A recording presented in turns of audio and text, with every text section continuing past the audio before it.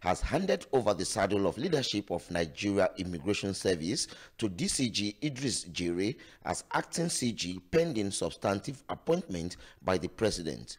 He said that his tenure as Controller General of NIS has expired having served Nigeria Immigration Service for 36 years.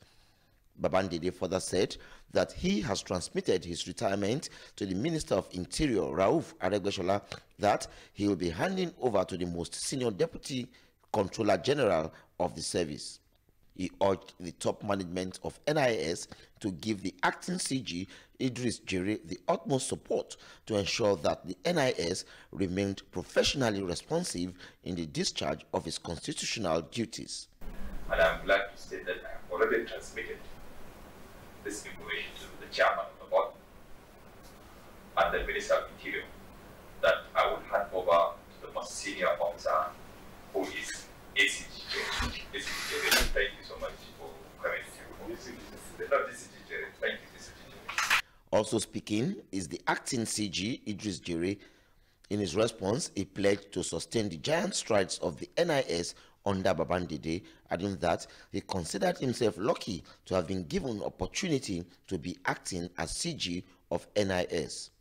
Pending the appointment of Substantive Controller General. And I wish to thank the Korean CGI for his recommendation. If he had done otherwise, someone else would have been here. Because there is no rancor and understanding, it's going to happen this way. So I sincerely thank you. Uh, I don't have anything much to say because I'm part of management. Uh, the shoe we are living is uh, entirely very, very big. I must confess. So I'm trying to see whether I can be able to put in my leg inside.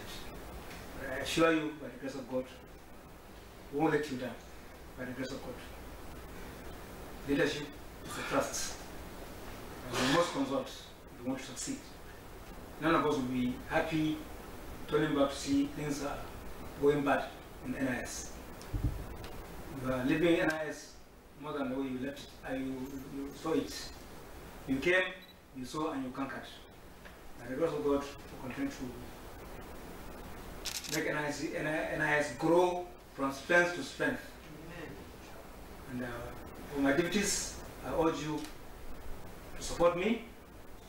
And I'm in a small transition very brief transition because uh, I don't have the required periods uh, to offer myself for selection as a new CG based on the new condition of service.